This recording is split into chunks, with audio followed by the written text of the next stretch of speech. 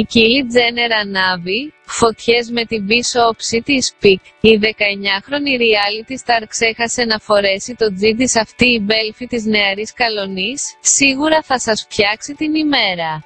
Φορώντας το αγαπημένο της τζιν, πόζαρε η Kylie Jenner στον προσωπικό της λογαριασμό στο Instagram, μόνο που ξέχασε να το ανεβάσει μέχρι επάνω.